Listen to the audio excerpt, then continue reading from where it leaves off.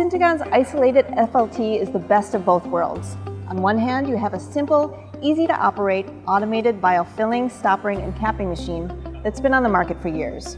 We've standardized on previously optional elements like 100% in-process checkweigh, restoppering, cap conformation, and single-use fluid path to address the needs of pharma manufacturers both in the cell and gene therapy space as well as groups producing clinical drug product.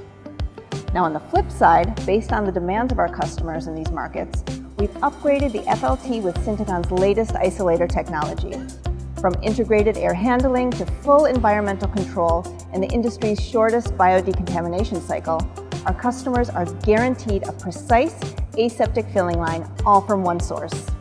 We also know that time to market is key for our customers.